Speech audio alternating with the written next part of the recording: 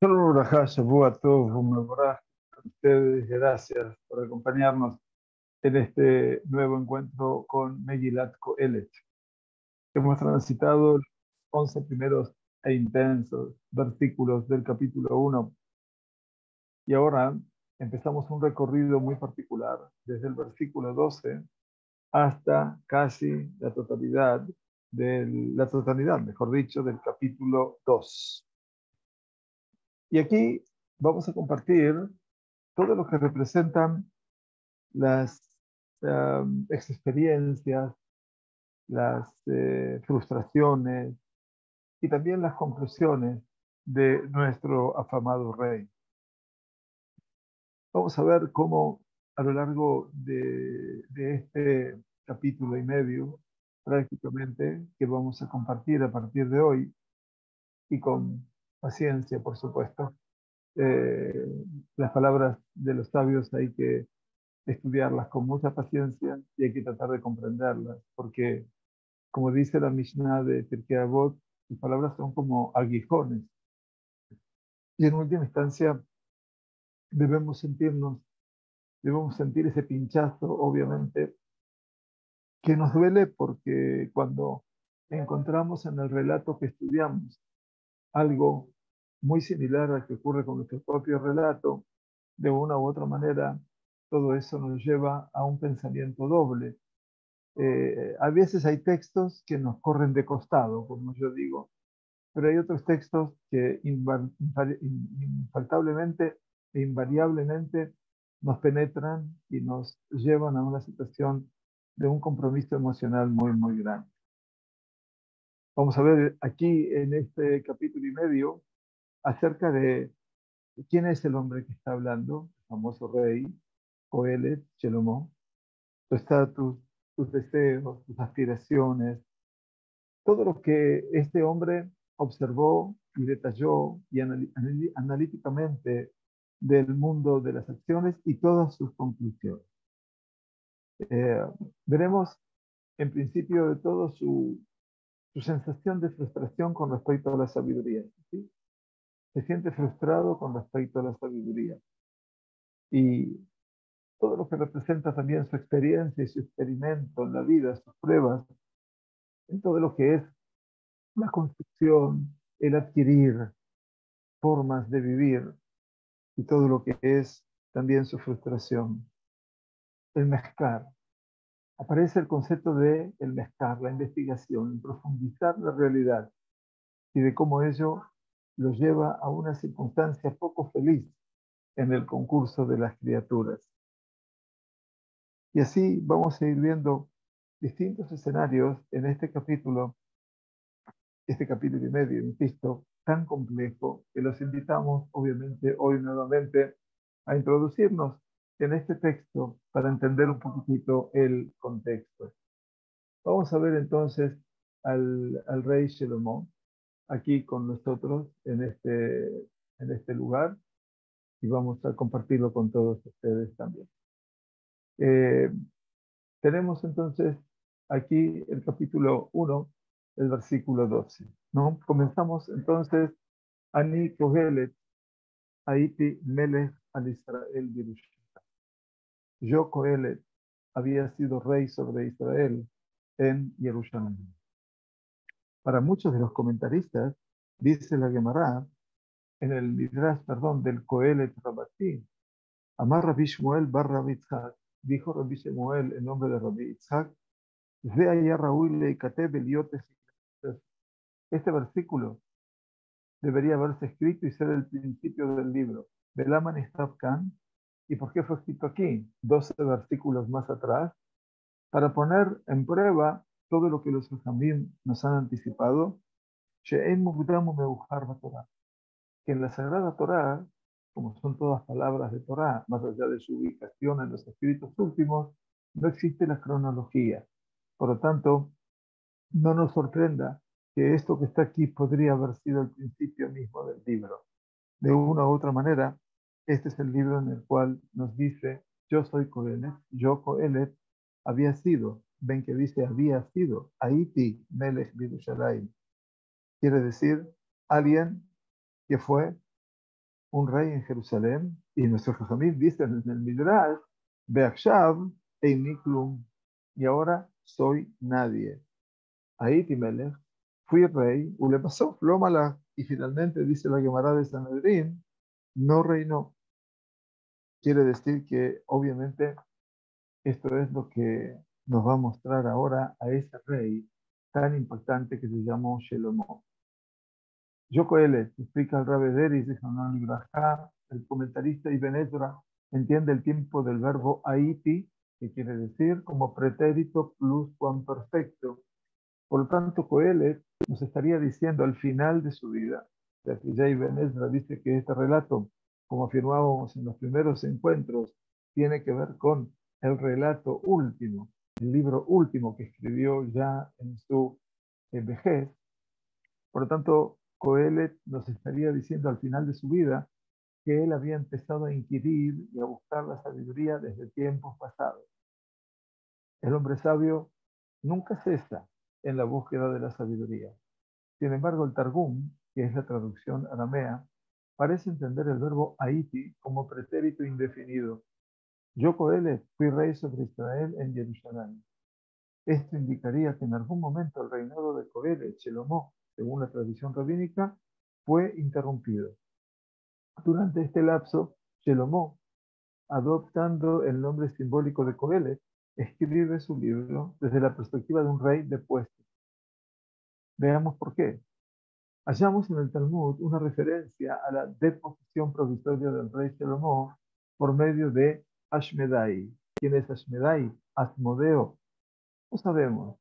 Además, quiere decir de un fenómeno, Ashmedai, que es el nombre de que en el Tanaj, en general, se nos habla del concepto Satán, pero no el concepto que nos acostumbró la cultura occidental y cristiana. No es Satanás, no es el diablo rojo, tridente. Olvídense de toda esa denominación. El Satán es el Yetzirah. El Satán es aquel que viene a hostigar al hombre, a inhabilitarlo como persona moral, y el Satán es un ángel de los que tantos merodean de tanta la familia celestial. No tiene poder propio, pero en este caso, este ángel llamado Satán, aquí con nombre propio, Ashmedai, fue en última instancia el que despojó a Shelomó de ese lugar por un tiempo eventualmente, o lo sacó del reinado. ¿A causa de qué? De sus tantas transgresiones. Además, en opinión de algún sabio del Talmud, en la vida del rey Shelomó se advierten tres etapas.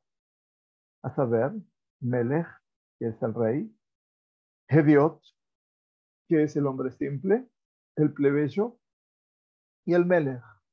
Así lo vemos en la Gemara de Gitín, de Sanedrín y el Midrash de Midbar De acuerdo con estas referencias, el libro de Coelet habría sido escrito en la época de plebeyo, de quien fue el rey Salomón. O sea que fue depuesto para devolver después a su gloria de ser el rey. Muy bien, esta es la presentación. Y ahora veamos qué nos dice el rey.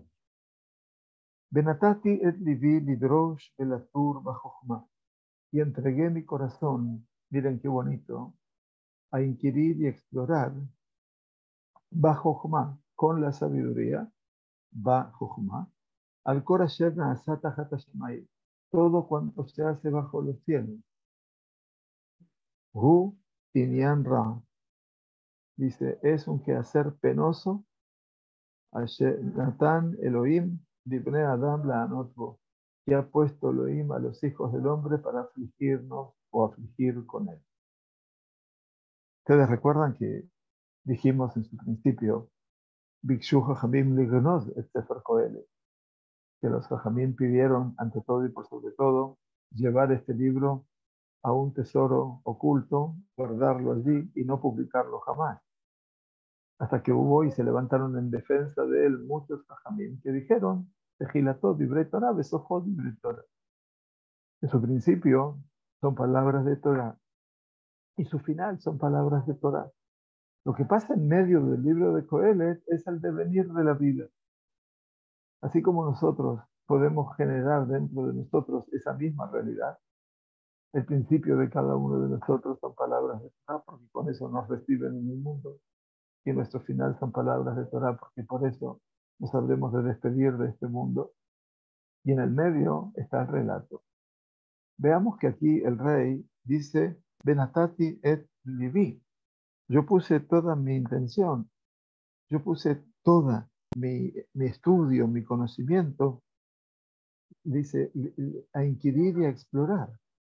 Este hombre es un hombre sabio que dice aquí, la tour, lidrosh de la tour, lidrosh a inquirir y a explorar, la tour, en la sabiduría, con la sabiduría. Dice, todo cuanto se hace bajo los cielos, quiere decir aquí entre nosotros, los seres humanos. ¿Y qué deduce de todo esto? Y es un quehacer penoso que ha puesto Elohim a los hijos del hombre para afligir con él. Muy difícil lo que dice el rey Salomón. Nos dice Rab, estos verbos indican la búsqueda intensiva y extensiva respectivamente, inquirir y explorar. O sea que nuestro autor no se conformará con una visión superficial, aunque amplia, de las cosas. Más bien exigirá la comprensión de, a nuestro entender, del mundo físico. El autor parecería decir que, como quiera que Dios ha dotado al hombre de sabiduría, es él quien le ha impuesto la dura tarea de investigar e inquirir. Cogelet nos habla del sufrimiento y la aflicción que trae aparejado el conocimiento. En sus palabras nos va a decir seis versículos más adelante, Mosif Da'at, Mosif Mah'ud. Pues aquel que incrementa la sabiduría, dice, incrementa el dolor. Doloroso, pero es verdad. A mayor sabiduría, mayor exacerbación, y quien incrementa el conocimiento, incrementa el dolor. ¿Cuánta verdad? Decía Coelet. Es verdad. La persona a veces ignorante vive en su felicidad de ignorar. En la medida que nosotros aprendemos y estudiamos más y comprendemos más, nos vamos dando cuenta de aquellos aspectos riesgosos que puede correr la vida. Y en última instancia, el rey Coelet sabe perfectamente. Por eso él dice que se entregó a inquirir y explorar. Por un lado, la búsqueda es intensiva, pero por otro lado, la búsqueda es extensiva, abarcativa. ¿No es cierto? O sea que la vida, dice el rey Coelet, no es tan solo una visión superficial, sino que tenemos que tratar de profundizar, lajkor, ver en lo profundo y analizar. Entonces se llega a una conclusión, que es Inyan Ra, Natan Elohim Livne Adam La'anot Algo que Dios le dio a los hombres, un tema malo, un tema penoso, lo traduce aquí, me parece muy bien la traducción. La'anot Bo lo traduce como afligirse con él. Porque La'anot no es tan solo responder, sino fundamentalmente y también, por sobre todas las cosas, es sufrir por él. Por eso va a decir al final, que a mayor sabiduría, mayor exacerbación, versículo 18, lo vamos a ver aquí, para que lo, lo tengan por lo menos en criterio, pues a mayor sabiduría, mayor exacerbación, y quien incrementa el conocimiento, incrementa el dolor. Si quisiera verlo, dice la conciencia del ser humano, es uno de los mejores elementos que poseemos. El ejercicio de la conciencia es la demostración inequívoca de nuestra salud mental. Pero es imposible que nuestra conciencia no sufra al observar el orden mundial con sus imperfecciones. La real sabiduría es el enemigo inveterado de la indiferencia. Sin embargo, preferimos el dolor causado por la sabiduría a la quietud emanada de la ignorancia de los hechos. Por eso termina diciendo este versículo 18, para cerrar un poquito la idea, Mosif Da'at, Mosif Mah'ob, quien incrementa el conocimiento, incrementa el dolor. Y es mucho mejor llegar a este punto que vivir en la ignorancia. No me cabe ninguna duda, porque el hombre es un ser racional, creado a imagen y semejanza de Dios. Y esa capacidad de imagen y semejanza de Dios es la capacidad racional y por lo tanto es la capacidad parlante.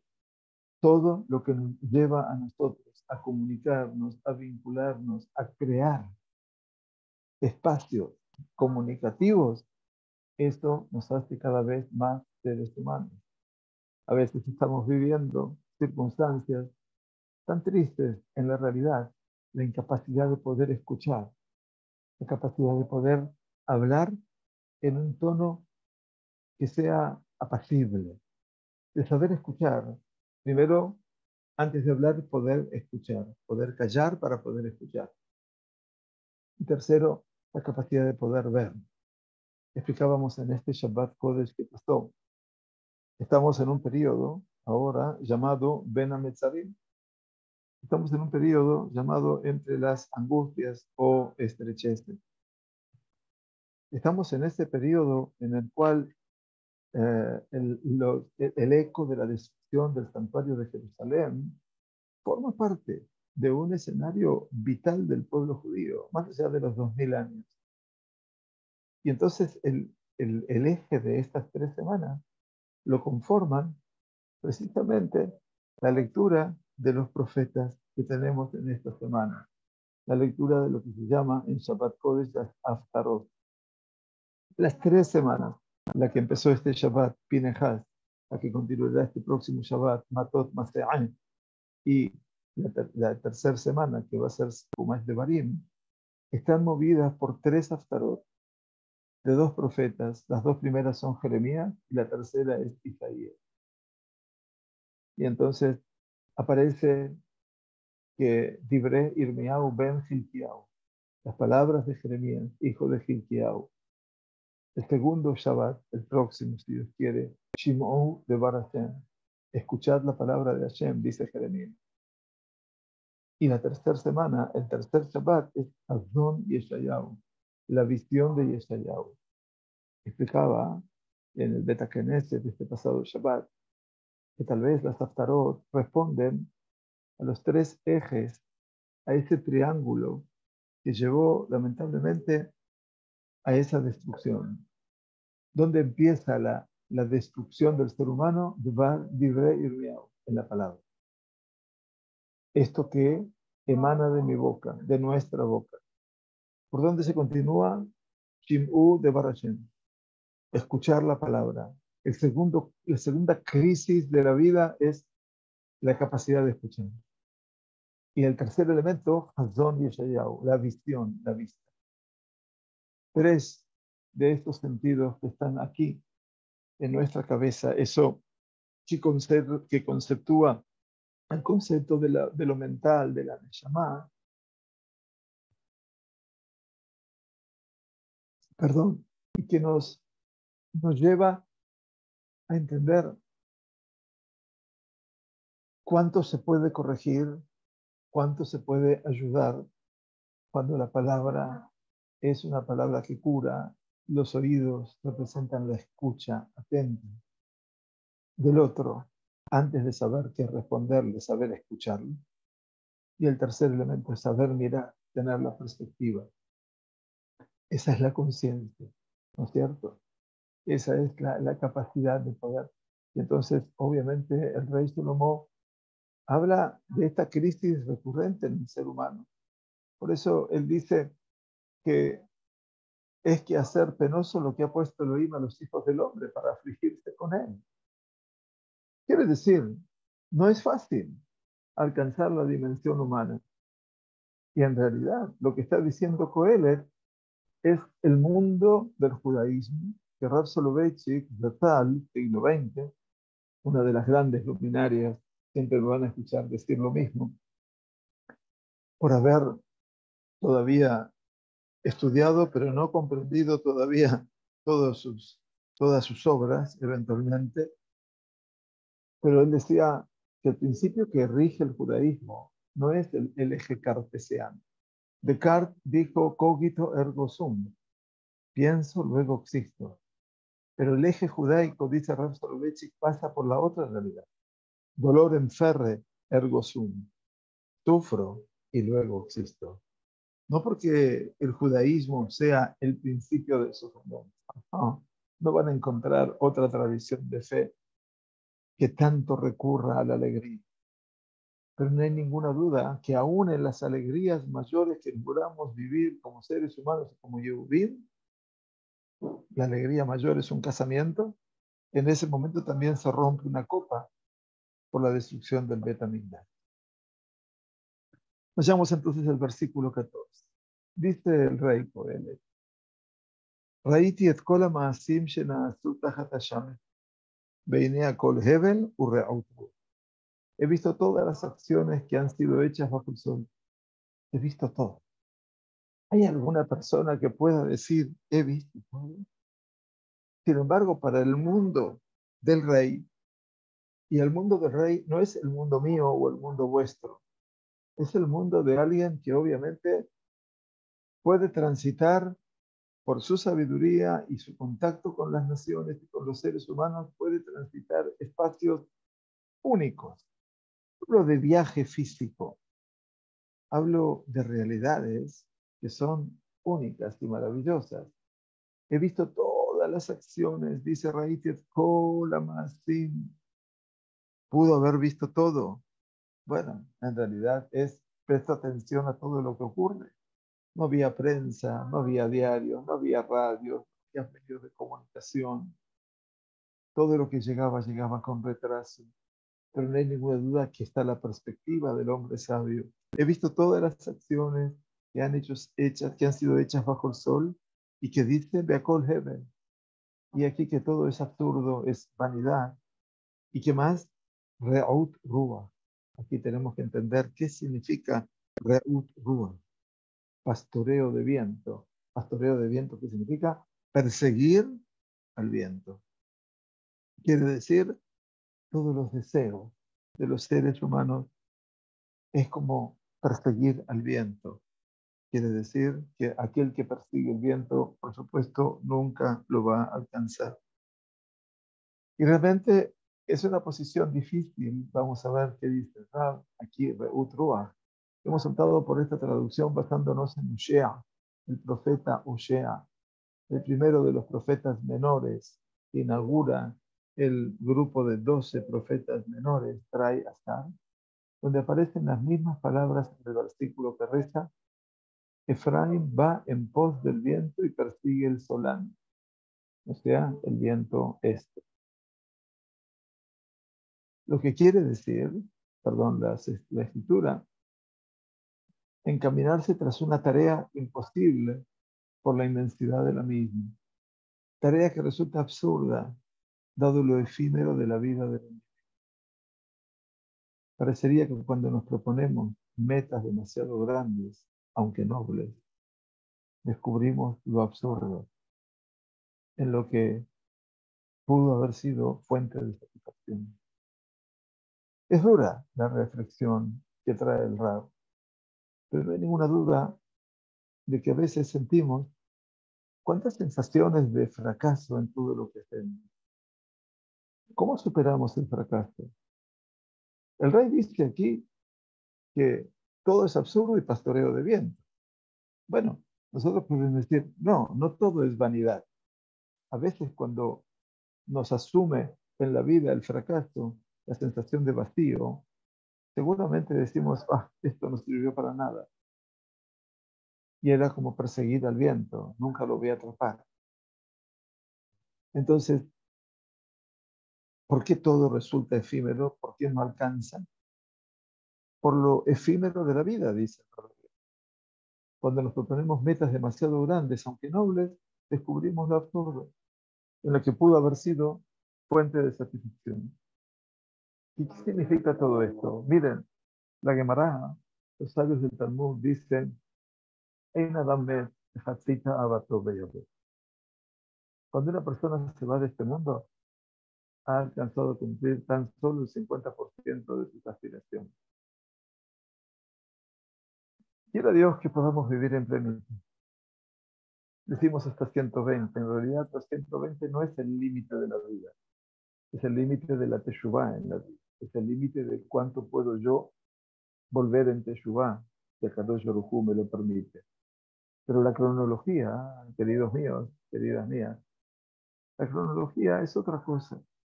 La cronología significa la posibilidad de la persona de poder implementar durante sus 70, 80, 90 años, obviamente, sus aspiraciones. Los sabios del Talmud, mucho antes de la psicología moderna y postmoderna, mucho antes del psicoanálisis, dijeron, una persona se va de este mundo habiendo cumplido y llega a cumplir el 50% de sus aspiraciones. No hay ninguna duda que todos tenemos tareas, todos tenemos una misión. No todos sabemos para qué hemos nacido desde el punto de vista de la misión. Pero sin embargo, es fantástico saber que hay tantas cosas para hacer, que debemos distinguir entre aquello que tiene metas nobles y aquellas otras que no. Pero ¿cómo logramos diferenciarlas? Aquí está el hombre indagando las y llegando a conclusiones que obviamente duelen, porque el rey también deja de ser rey en algún momento. Y entonces llega a una definición de las más difíciles que hacen al libro. El versículo 15 dice, Me'aubat lo con. Lo torcido no podrá enderezarse. De lo yuhal leimanot. Ni la mengua, quiere decir lo que falta, no podrá ser contado. ¿Qué significa, obviamente? Aquí lo que estamos hablando eventualmente es, bueno, que lo que está mal ya está torcido, está mal y no se puede modificar. Y aquello que falta, la carencia, el déficit, tampoco puede ser contado, es infinito. Y todo esto obviamente ya me está abriendo la puerta de lo que representa esa, esa sensación de frustración. No es para que nosotros nos pongamos tristes, al contrario, yo pienso que es el desafío de poder responderle cuántas cosas sí podemos corregir y cuántas otras lamentablemente no. Hay muchas que intentamos y no logramos. El rap dice, lo torcido no podrá enderezarse ni la mengua podrá ser contada. Varios comentaristas contemporáneos ven en este versículo un aforismo citado por Coelet como demostración del tema de su libro, el tema del Coelet es Habel Habalim, ¿no? La vanidad de vanidades, la absurdidad de absurdidades. Realmente nos resulta difícil descubrir a qué caso o situación precisa estaría haciendo referencia en este pasaje. Algunos comentaristas opinan que se refiere a las acciones torcidas de las personas y que no pueden ser enderezadas. Pero no olvidemos que uno de los pilares fundamentales del judaísmo, que es el la Teshuvah, ¿verdad? O sea, la reversibilidad de nuestras acciones. Aunque los sabios del Talmud citan algunas acciones torcidas del individuo que en realidad no pueden ser reparadas y enderezadas. Rabbi Rama, uno de los grandes comentaristas medievales, en su libro Akedat Itzhak, deja entrever en su comentario que Coelet parecería apuntar con este aforismo a dos aspectos del ser humano. Presten atención. Al orden establecido por él mismo, al que considera torcido e imposible de enderezar, y después al afán posesivo del ser humano, que nunca podrá contar ni colmar sus tareas. Y creo que Rabbi Calderrama tiene tanta razón que me identifico tanto con él, porque en última instancia, a veces nosotros sentimos esa sensación de lo, de lo insuficiente, la insuficiencia, ¿no? El orden establecido por él mismo, quiere decir prioridades, lo que yo quiero, y que aparentemente todo eso no llega a, a cumplir con todo mi afán.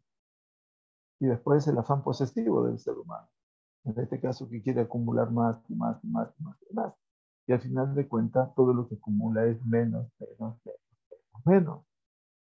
Por lo tanto, lo torcido no se puede enderezar. Hay una respuesta del Talmud, dice, sí, lo torcido sí se puede enderezar. Cuando la persona puede hacer teshuvah. Ahora, claro, la teshuvah no es un proceso que yo enderezo lo torcido. Es el proceso de, de reverter, revertir la cosa. Entonces, la teshuvah es un proceso dinámico, constante, no es de un día, no es de una semana, ni de un mes, es ni de un año. La teshuva es un proceso de por vida. Uno se cuenta, pero yo siempre tengo que hacer teshuva, que nunca puedo estar bien.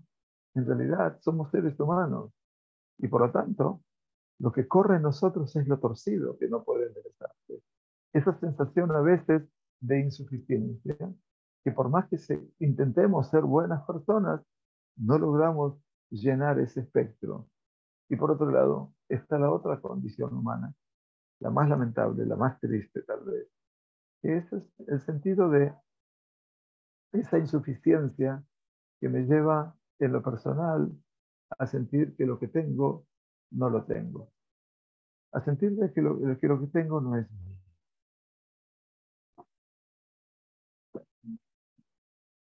Entonces, llegamos al versículo 16 y empezamos a hablar de este proceso de la desilusión, la frustración. Miren cómo lo empieza el rey Coelho. Es fantástico. Antes dijo Benatati et. Él dijo en el 13 y entregué mi corazón. ¿Bien? ¿Qué rol juega el corazón? Importantísimo en nosotros, no solamente como el órgano funcional de lo que es la capacidad vital, sino y por sobre todo todo lo que representa en ese nivel de eh, sentimientos, pero también de pensamientos, de actitudes. Entonces dice el versículo 16 fantásticamente, Dibarti ani imlibilem. Hablé yo con mi corazón diciendo. ¿Se imaginan a este hombre haciendo un diálogo entre él y su corazón? Y este diálogo es un diálogo intenso, interior, Dibarti ani, quiere decir, hay algo que él obviamente piensa y elabora y elucubra todo el tiempo. Eso es ver el alev.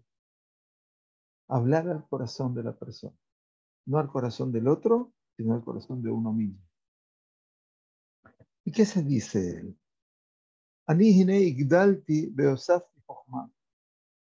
He aquí que yo he engrandecido e incrementado sabiduría al Fanay, al o sobre todo lo que había antes de mí sobre Yerushalayim.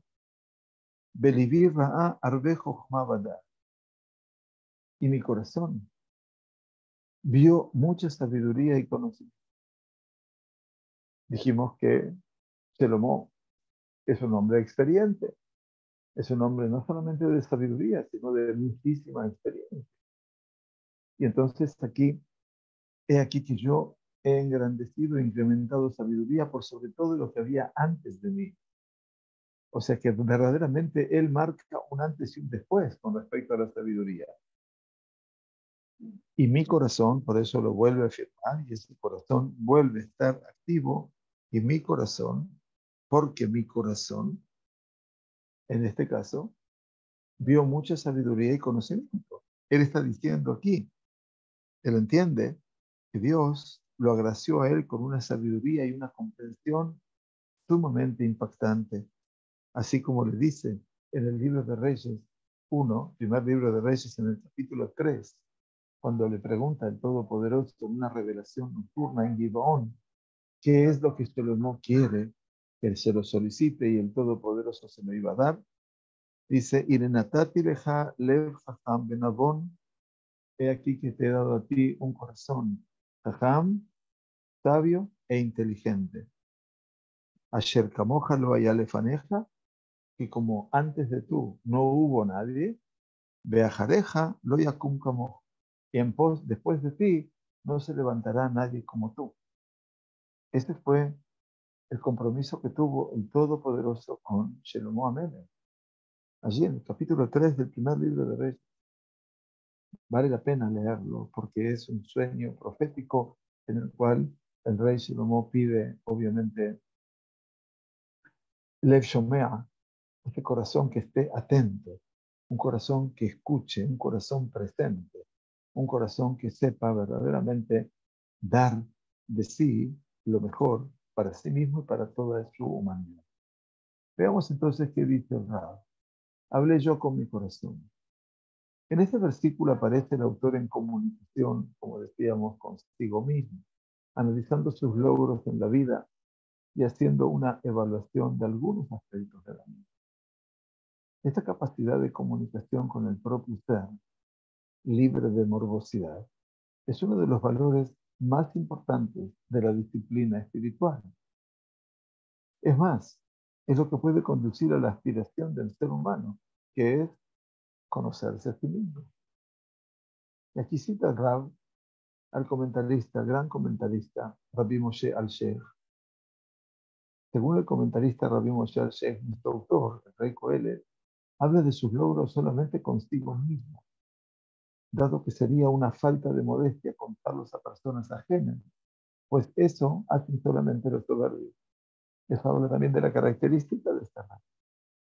Parecería, dice el al-Sheikh, que este comentarista quiere distinguir entre la toma de conciencia y la evasión de la misma, locuacidad mediante.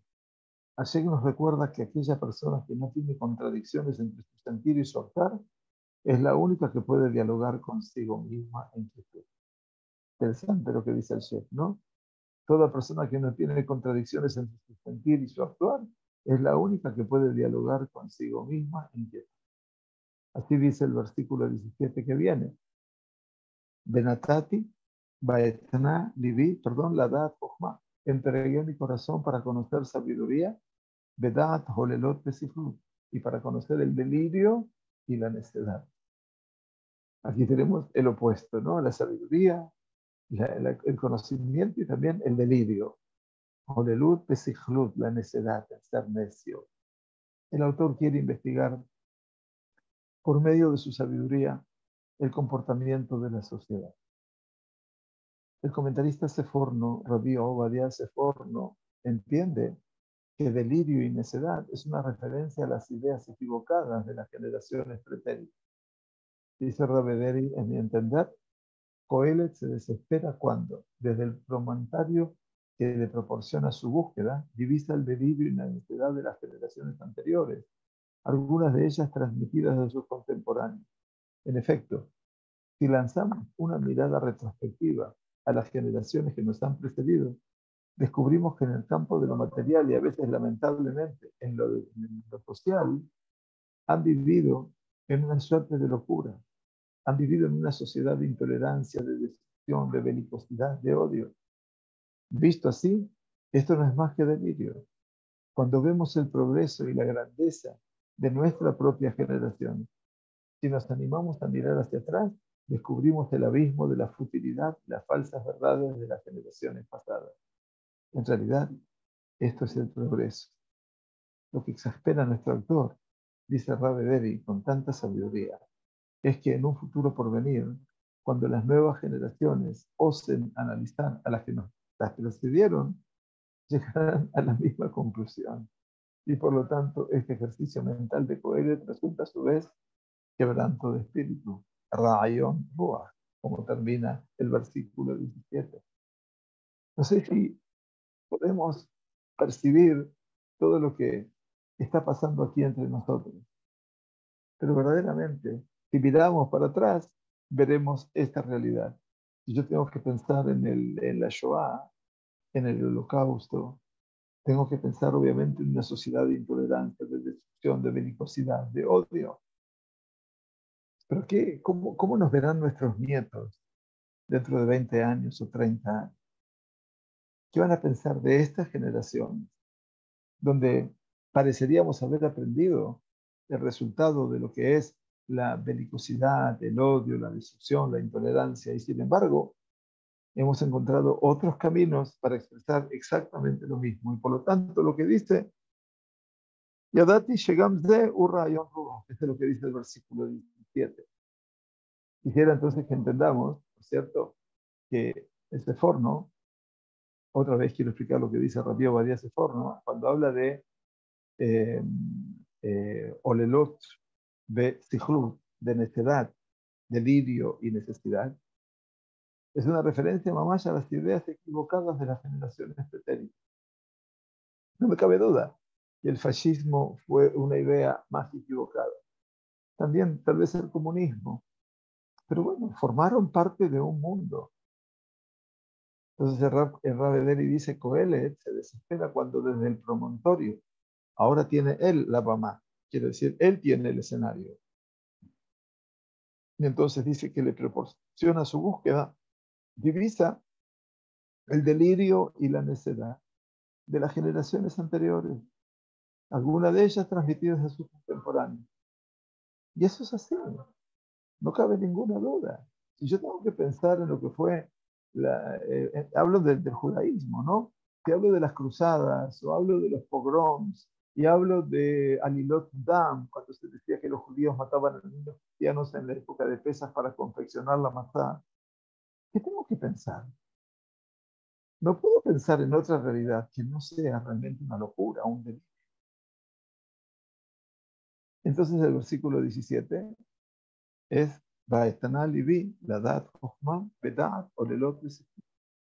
Entregué mi corazón para conocer sabiduría y para conocer delirio y necedad.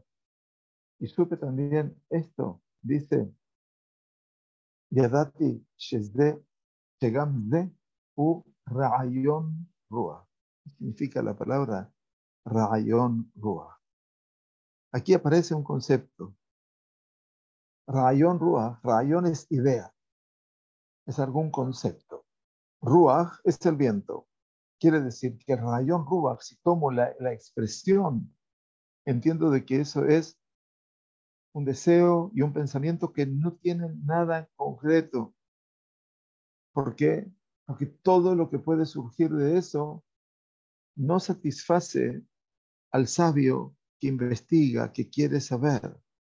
Y obviamente todo el concepto es un pensamiento casi eh, em, que lleva a, la elaboración y a una conclusión que no, no sirve, rayón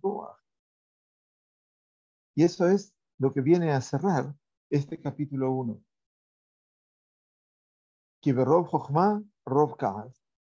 Pues a mayor sabiduría, mayor exacerbación, mayor enojo.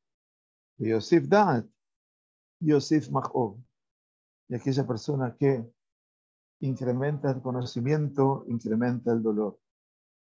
Y no hay ninguna duda de que esto viene a cerrar todo este escenario de lo que el Coelet viene a hablar sobre la persecución de la sabiduría de buscar la sabiduría. Entonces él está diciendo, mira, cuanto más incrementes la sabiduría, así va a surgir la exacerbación, va a surgir el enojo, va a surgir la insatisfacción, la angustia del sabio. ¿Por qué? Porque no logra llegar al objetivo que se propuso, porque ¿qué es lo que alcanza a ver el sabio en todo esto? El déficit, la falta y todo lo que ve son más esas carencias y, y, cada uno de los defectos que tiene la sociedad. Entonces, cuando él dice Kaz, no está hablando del enojo, la furia. No, no, no. Está hablando de lo que es Itzabón. Itzabón quiere decir, por eso, muy bien, hablamos aquí del, del, de ese espíritu quebrantado. Hablamos de angustia. Esta angustia no es enojarse con otro, es una angustia entre la persona y sí mismo. Quiere decir, eh, cuando la persona considera y calcula los escenarios que pasan en este mundo. Muy fuerte lo que dice. Y entonces, Yosef Mahov, ¿por qué dice Yosef Mahov? Dice Rabbi Abraham y agrego, quien incrementa el conocimiento, incrementa el dolor, dice el gran sabio medieval Rabbi Abraham y Benezra, dice lo siguiente, que Amaskil, la persona inteligente, Amakir Dibrea Olam Berrojo, que conoce los sucesos del mundo a partir de esa comprensión inteligente, Tamit y Mahov siempre estará en una situación de angustia, de enojo, de dolor, y no se alegrará con sus hijos. No podrá disfrutar de saber tener hijos porque sabe que van a morir antes o después. Y tampoco en la riqueza, porque es como el ave que vuela. Y esto hablaba el Ibn Ezra, que es obviamente uno de los exponentes de una vida penosa, eventualmente difícil, dolorosa, que ya lo conoceríamos eventualmente. Muy bien, llegamos hoy hasta aquí. Nos despedimos por dos semanas hasta dentro de dos lunes para retomar el libro de Coelet.